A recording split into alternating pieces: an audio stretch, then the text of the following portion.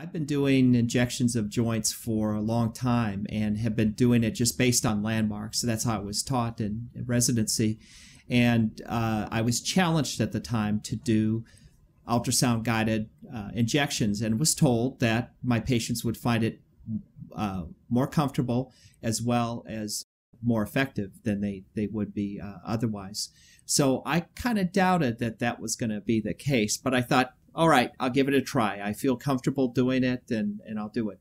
Uh, so the first week we got the NanoMaxx, I uh, tried it on somebody who I had been giving injections to her knees for some time. And I said, we're going to try something different. I'm going to give you this injection using the NanoMaxx.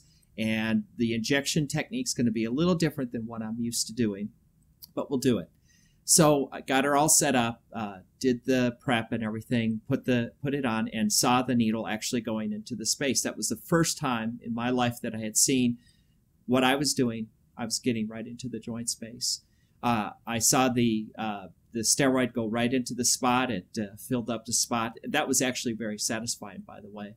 And uh, the patient said, "Is that it?" And I said, "Yeah." She says, "I didn't feel a thing. That was great." So the next day I called her and and uh, she told me she said, you know, it's really feeling a lot better than it had been in the past.